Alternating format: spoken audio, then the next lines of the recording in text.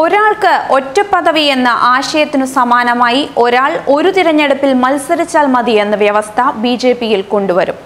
എല്ലാ തിരഞ്ഞെടുപ്പിലും കുറെ നേതാക്കൾ സ്ഥിരമായി സ്ഥാനാർത്ഥിയാകുന്ന രീതി അവസാനിപ്പിക്കാനാണ് തീരുമാനം. ലോക്സഭാ തിരഞ്ഞെടുപ്പിൽ പരമാവധി പുതുമുഖങ്ങളെ സ്ഥാനാർത്ഥിയാക്കുമെന്നാണ് സൂചന. അതിനിടെ കെ സുരേന്ദ്രനെ പോലുള്ള അണികളുടെ പിന്തുണയുള്ള നേതാക്കളെ ചില തിരഞ്ഞെടുപ്പിൽ നിന്ന് മാറ്റാനാണ് ഈ നീക്കമെന്നും സൂചനയുണ്ട്.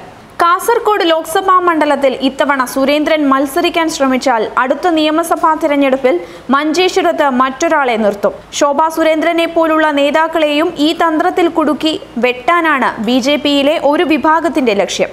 പ്രാദേശിക തലത്തിൽ നിന്നും യുവാക്കൾക്കിടയിൽ നിന്നും പുതിയ നേതൃത്വത്തെ ഉണ്ടാക്കുകയാണ് പാർട്ടിയുടെ ലക്ഷ്യമെന്ന് വിശദീകരിച്ചാണ് പുതിയ നീക്കം. ചിലർ സ്ഥാനാർത്ഥിത്വവും മണ്ഡലവും കുത്തകയാക്കി മത്സരിക്കുന്നതും കേരളത്തിൽ സംഘടനയെ ബാധിക്കുന്നു എന്ന വിലയിരുത്തലിലാണ് ദേശീയ നേതൃത്വത്തിന്റെ നടപടി. വി. മുരളീധരനും തിരുവനന്തപുരത്തെ മണ്ഡലങ്ങളിൽ ഒന്നിൽ ലോക്സഭയിലേക്ക് മത്സരിക്കാൻ ആഗ്രഹിക്കുന്നുണ്ട്. ഒരാൾ ഒരു മത്സരം വ്യവസ്ഥയനുസരിച്ച് ഇനി ലോക്സഭയിലേക്ക് മത്സരിച്ചവർക്ക് പിന്നീട് തദ്ദേശ നിയമസഭാ തിരഞ്ഞെടുപ്പിൽ അവസരം ഉണ്ടാകില്ല. അതായത് ലോക്സഭാ തിരഞ്ഞെടുപ്പിൽ മുരളീധരൻ മത്സരിച്ചാൽ നിലവിലെ തീരുമാനമനുസരിച്ച് കഴക്കൂട്ടത്ത് വീണ്ടും മത്സരിക്കാനാകില്ലെന്നു സാരം. വ്യവസ്ഥയിൽ ഇളവ് വരുത്തേണ്ട അനിവാര്യ സാഹചര്യം ഉണ്ടെങ്കിൽ ദേശീയ നേതൃത്വത്തിന്റെ അറിവോടെയാകണം നടപടി. കൊച്ചിയിൽ നടക്കുന്ന പാർട്ടി സംസ്ഥാന കൗൺസിൽ നേതൃയോഗങ്ങളിലും വിഷയം ചർച്ചയായേക്കും.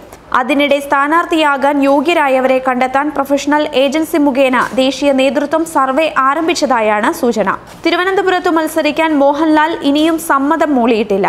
മത്സരിക്കാനില്ലെന്ന് സുഹൃത്തുക്കൾ വഴി ബി ജെ പി നേതൃത്വത്തെ അറിയിച്ചിട്ടുണ്ട്. രാഷ്ട്രീയമല്ല പൊതുസമൂഹത്തിലെ ഇടപെടലിനാണ് താൻ വിശ്വശാന്തി എന്ന സന്നദ്ധ സംഘടന ഉണ്ടാക്കിയതെന്നാണ് ലാലിന്റെ നിലപാട്.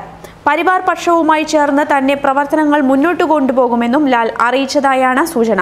ലോക്സഭാ തിരഞ്ഞെടുപ്പ് ഒരുക്കത്തിനൊപ്പം നിയമസഭാ സ്ഥാനാർത്ഥികളിലും പ്രാഥമിക ചർച്ച ആരംഭിക്കും.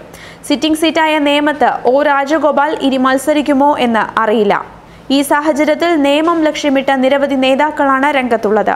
പി എസ് ശ്രീധരൻപിള്ളയും നിയമത്ത് മത്സരിക്കാൻ തയ്യാറെടുക്കുകയാണ്. ഇതിനൊപ്പം മേഘാലയ ഗവർണർ കുമ്മനം രാജശേഖരനെയും പരിഗണിക്കുന്നു.